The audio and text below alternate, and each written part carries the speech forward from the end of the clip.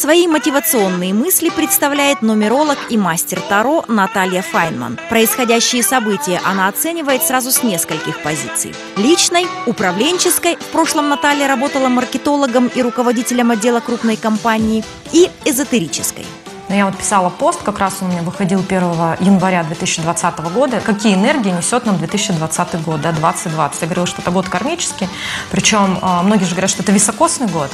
Но високосный, видишь, у нас каждый четвертый год он високосный. А вот такая комбинация 2020, да, а, это кармический год, и он говорит там за семью. Я прям очень много описала, да, что будет очень много моментов переквалификации. То есть это год такой обнуления и перерождения. То, что мы и видим. У меня сейчас учатся мои студенты, и мы проходим, допустим, допустим, 20 аркан, я даю аркана нумерологию. Я говорю, вот смотрите, 20 аркан это, это суд, ну, то есть так называется вот э, число 20.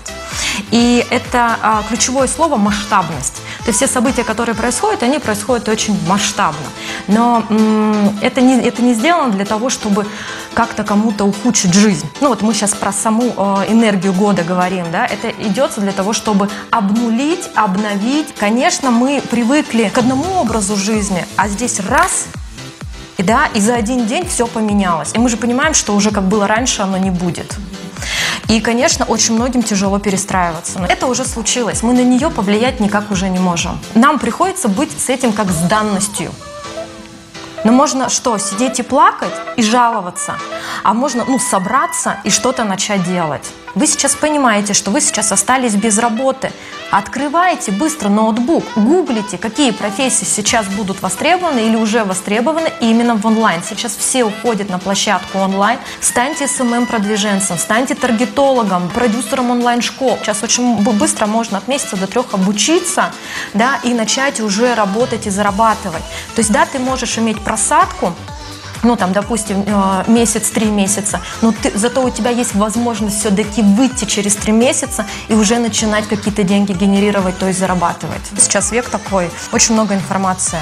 То есть хотя бы начать учиться. Причем есть же очень много бесплатных сервисов, да, очень много, правда, вот, вот любую возьми э, сферу, ты найдешь бесплатный сервис. И вот сейчас вот все онлайн-курсы на самом деле, но ну, если правильно, грамотно сделаны они, остается сама соль, когда тебе структурировали информацию, да, ее схематично для тебя предоставили, и ты берешь только то, что нужно. И поэтому, конечно, в эти периоды приходится прикладывать больше усилий, чтобы что-то делать.